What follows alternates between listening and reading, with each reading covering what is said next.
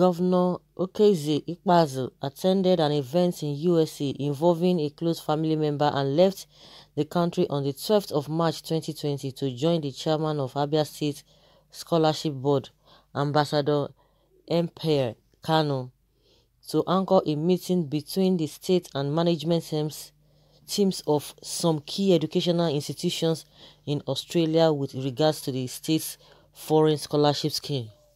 The highly successful engagement in Australia sought to secure scholarships and placements for young Abians in those institutions as well as secure jobs for them while studying in the country.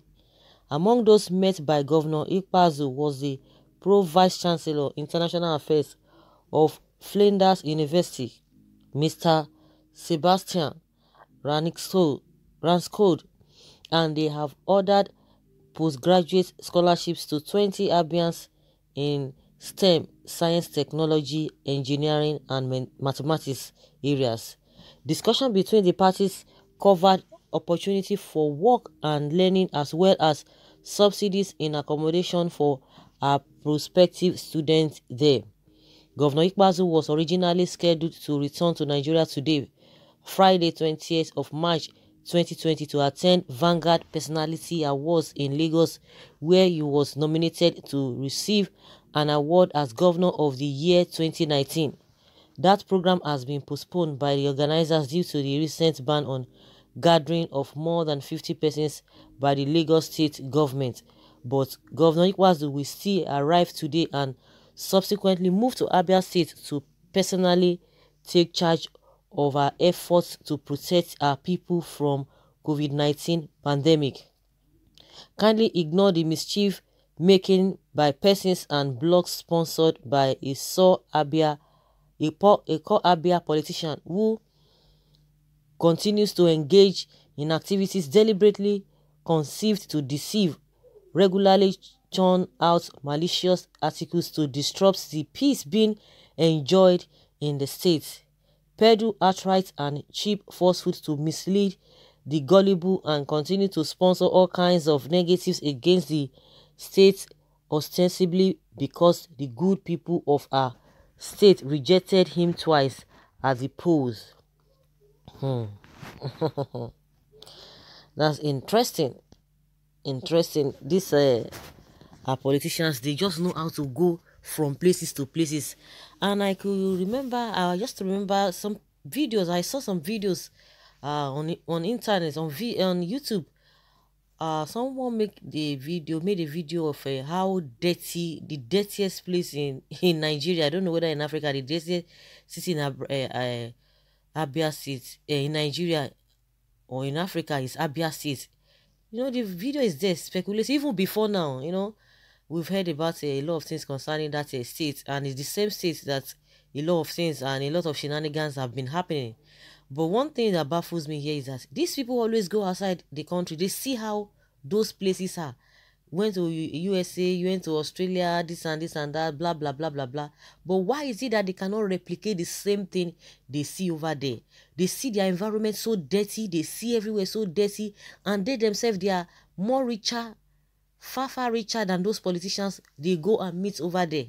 You know they will just paint a lot of things. Of course i'm not disputing the fact that some of their opponents will be you know looking for a way to bring them or to say something about them. Not even bringing them down. Say, say something about them.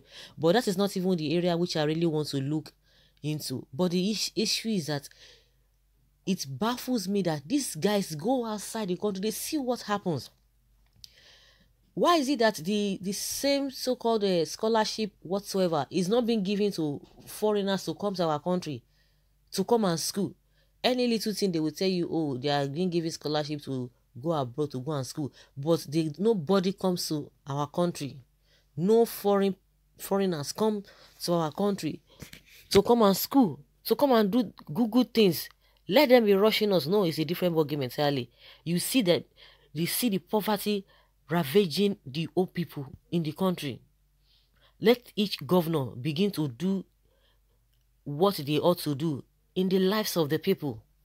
They won't do it. But I'm sure he saw all of those the every all the areas that he went to, whether in the USA or Australia. it's not as if oh, you will see some places that are meant for the for the rich people or some people some places meant for the poor people no you can never see that. You can't even differentiate who is rich or who is poor. Even when they still have poor people among them. But in our case it's a different ballgame entirely. They will just be going from places to be from places to places receiving award i don't even know who are the organizers of those awards. They just put themselves together form all manner of eh, eh, eh, a, a, a event giving themselves award upon award upon presiding over over what is not. I don't just want to be using some kind of word. Over what is what one cannot even be proud of. They are presiding over uh, uh, uh, such people. Yes, they are still happy. They are still giving them awards here and there, giving them awards here and there. It's just unfortunate. When are these people going to learn? They just believe in themselves. They just believe in their family they just have interest in their own family and maybe some of the people that support them to get to where they are where they are. That is just those are the people they are concerned about. Because that is the question i'm always asking. These guys you travel you see what happens over there. Just copy and paste. Replicate what you see over there. No because they know that by the time they replicate it it it involves money. And the money will not be enough for them to acquire and stock for themselves that is what has been happening. They will continue to tell you, oh, there's no money, there's no money. But what is being uh, uh, budgeted for their own lifestyle is very, very outrageous. The allowances, they, they, they come together, they put in law to, to fend for themselves is outrageous. The question they've not been able to ask, those who are always coming to uh, appraise them or support them or applaud them, they know they don't ask that question. Why is it that our politicians are richer than those so-called developed countries where things are working. Why is it so? Why is it that they don't they don't talk about all those things? We don't have money to do a lot of things in the country but we have money to furnish the lifestyles of this uh, of these our leaders or these so-called politicians. Why is it so? Is it not ironical? They will tell you they are getting award. Who is giving award? Giving award onto what? Now beautiful nonsense. I don't just get it's a different ballgame entirely that uh, he said that some people who could not say uh, that is what they always say. When whether they get to that position by uh by fire by force but at the end of the day they will still use that to stunt to taunt people that oh those who could not even that they rejected three times that they are the ones that will be going against them. That a lot of people have been saying all manner of things. It's all you know they're always getting away with this with uh, like i always say because some people are somewhere the masses too themselves they are somewhere somehow defending them. And they will be laughing at oh well there are some people who still be gullible to still defend them. And the ones who are defending them their voices are louder than the ones who are saying the right thing. That is where the problem lies in this country. Across board. It's unfortunate really really unfortunate copy and paste what you see over there no it will never they won't do it they won't do it someone says which award was he coming to receive i believe it's governor of the year for failure and mediocrity we Abians pray that the evil that are befalling Abia State in leadership never happen again. Someone says, Amen. Oh. Someone says, You are the one deceiving people and our God will deceive you. Governor Ikpeazu is a total failure and has nothing to offer to Habians. He should go into self-isolation when he comes back to not to transmit the uh, virus. Of course, that is really important. Of course, are you sure they're going to do that? Mm. They will feel that oh, they are immune for many form of things. I think it's very, very key. And someone says, uh, now, now they hear this, oh, my state god's own state is devil's own place.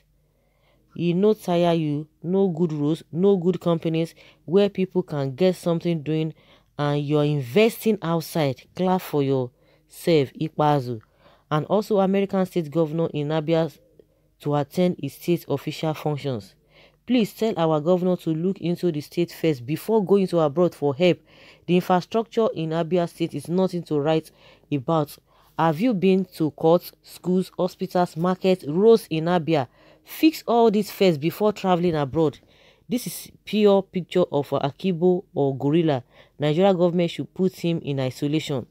the government of Abia State pledged allegiance to Hindu religious and belief just to be sure he is in power. The evidence was just discovered by EFCC just recently during an during raid in one of his houses in Abuja. Hmm. Growing fat like gorilla. Are you saying with certainty that what was written about the governor concerning oath taking with the sponsors before a Hindu god were fabricated even with the oath taking documents shown? So where is IPOB rumors in USA? Uh, do I hear governor of uh, the year 2019 daydreamers?